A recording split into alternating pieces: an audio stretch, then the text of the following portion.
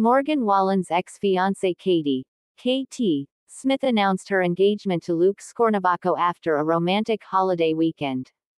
The influencer, 29, who shares a three-year-old son with Wallen, 30, revealed Scornavacco, 22, had popped the question on Easter Sunday, and photos from the proposal. Why save the good things for later? Smith captioned the Instagram post. They were joined by their mothers, as well as Smith and Wallen's three-year-old son Indigo Wilder for the special occasion. The bride-to-be went barefoot in a white strapless dress with a floor-length mesh skirt and a matching white shell necklace.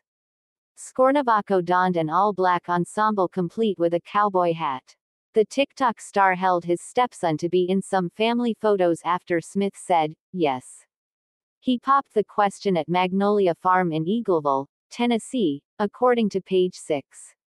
Scornavacco got on one knee under an arch made from 1,700 flowers by Beautiful Things Floral and Design in Nashville. He proposed with a brilliant Earth Princess cut diamond ring. Smith flashed the ring in a video she shared Monday to her Instagram story from her car.